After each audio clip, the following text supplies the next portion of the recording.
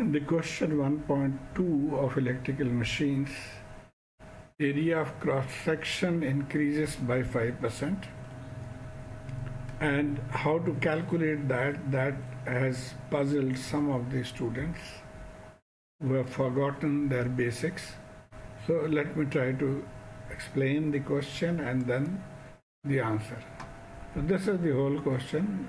This part is bothering people assume that the fringing in the air gap increases the effective cross-sectional area of the air gap by 5%.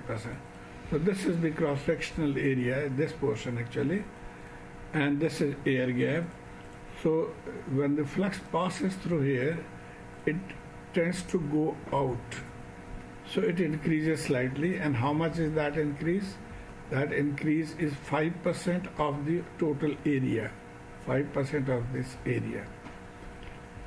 Now how to solve this?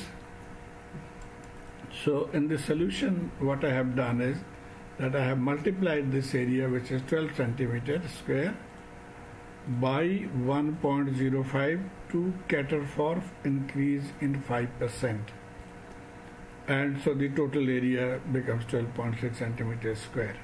Now this is the question some students ask why you are multiplying it by 1.05. Let me give you a very simple example that you might have done in class 4 or 5. Suppose you have money in your bank, your money increases by 5% annually, and let's say you have deposited $500. What will be the total amount after one year? Now, there are two ways of doing it. One method is that this is called the unity method. You say that dollar hundred increase by five, then one dollar will increase by five over hundred, and five hundred dollar will increase by five over hundred multiply by this five hundred. That means twenty-five dollars. So this is the amount of increase. What will be the total amount? The total amount will be increase plus the original, so it will be 525.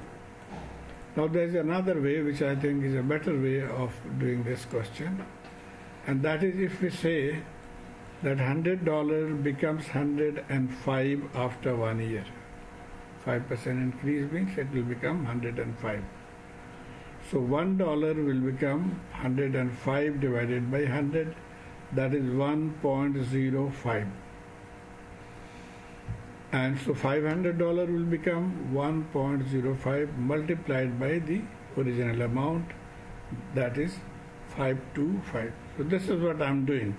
For 5% increase I'm multiplying it by 1.05 this 1.05 as shown here the original area is 12 we have 5% increase so we're multiplying it by 1.05 to get the total area 12.6 centimeter square which can be converted into meter square by dividing by uh, thousand or ten thousand sorry. So I hope uh, you have been uh, following this you are able to understand this. Thank you